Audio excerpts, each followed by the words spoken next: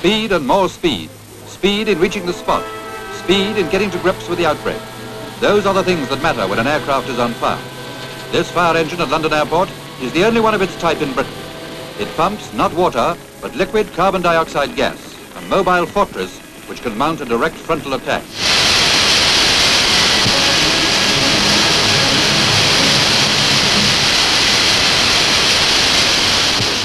A matter of seconds which may mean life or death. And the job is far from finished yet. The gas which puts out the blaze can become itself a menace. Foam from a separate appliance is sprayed to blanket it. Gas, foam, automatic and hand-operated nozzles, and greatest of all, perhaps, men.